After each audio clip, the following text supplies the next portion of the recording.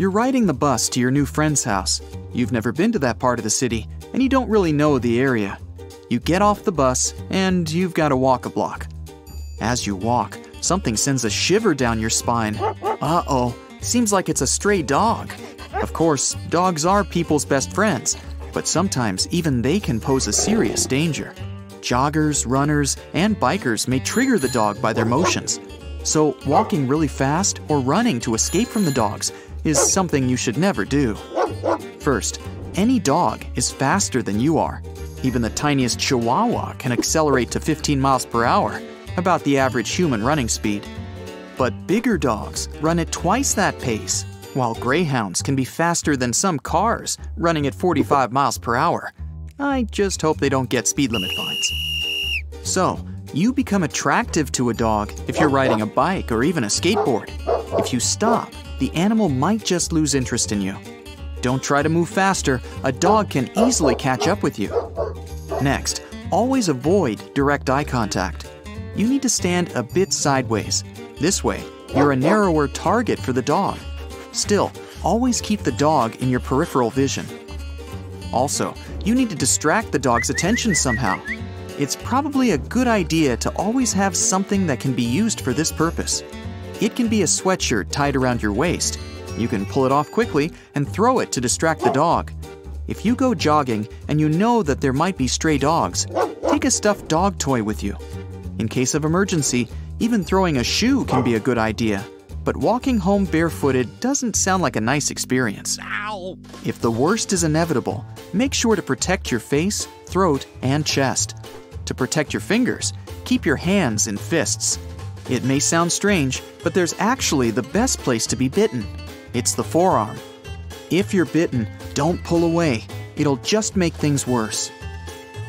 If you walk with your small pet, take it in your arms to protect it from a stray dog. Most stray dogs are afraid of humans, but you can show them your intentions are nothing but peaceful.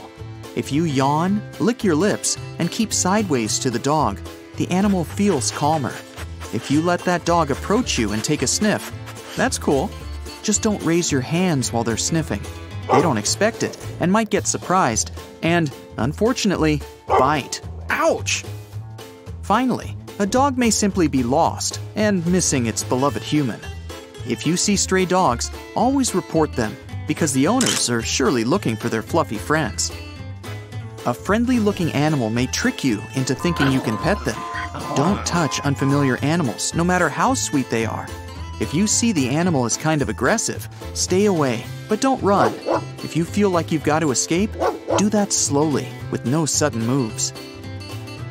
Raccoons aren't domesticated, and even though some people claim it's possible to tame them, it's only partially true.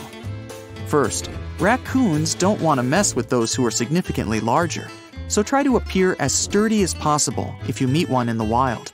Stand up, open your chest, wave your arms. These simple steps might be enough to keep the raccoon away, but if it's still approaching you, spray some water on them. Yeah, they like washing things, but if someone sprays water on you, it's a bit unpleasant. The good thing is that it's totally safe for both the animal and you.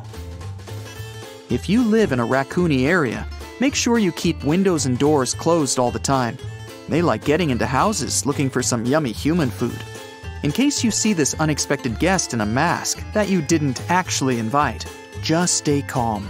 The best thing to do is to leave the exit door or the pet door open, close the doors to all the other rooms, and let the animal find the way out on its own. In case the guest just won't leave, you might want to help. You can show the raccoon its way with a broom, gently directing the animal out of your house. But make sure you don't corner the animal, or the raccoon might want to defend itself. A raccoon never wants to pay you a visit if you've got nothing to offer. Don't feed them. The more food you give them, the more raccoons will come to see you.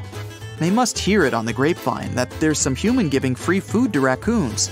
If you have pets who like to hang out in the yard and you leave them food, don't forget to clean up after your pets finish the meal and never leave some food for later.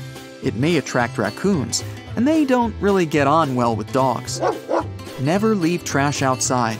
Surprisingly, raccoons just love it. Clean up the yard after you've finished your barbecue. food scraps are super attractive for these animals. If you've ever shared an apartment, there must have been a housemate you wanted to evict. Bang, bang. Did you hear that? It sounds way heavier than rain and even hail. Those are possum paws that make all this noise. First thing you want to do is cut the access to the roof.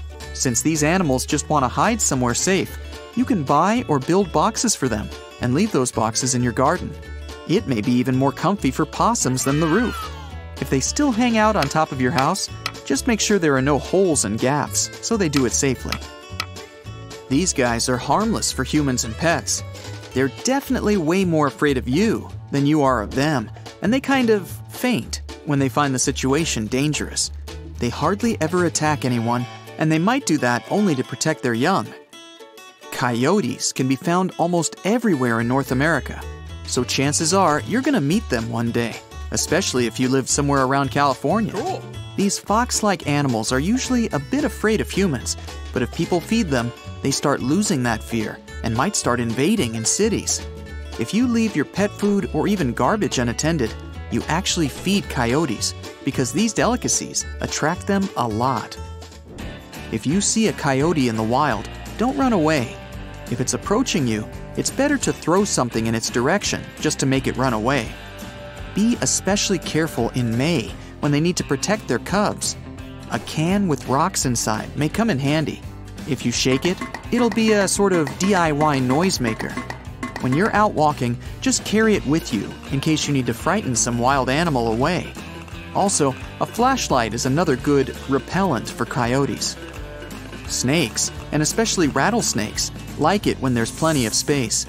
So if you meet a rattlesnake one day, stay at a distance of at least 5 feet away from it. Never try to attack it. If you do so, the snake will get mad at you and will definitely bite you.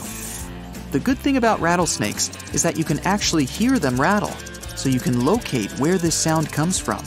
Don't step any closer until you understand where the snake's hiding.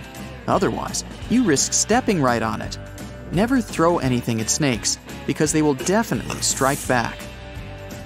You probably didn't expect this one, but adorable fluffy cats may be super dangerous if they're feral. Stray cats get together in gangs and sometimes attack not only those cats who live with humans, but even humans themselves. There are several signs that can help you understand cats' language. If the animal is frightened, it hisses, growls, and may even spit at you. Their eyes aren't dilated, their fur is quite relaxed, and they keep their head up straight. If the cat's aggressive, its fur is on end and its ears are back. The eyes get dilated, and instead of hissing, the animal howls.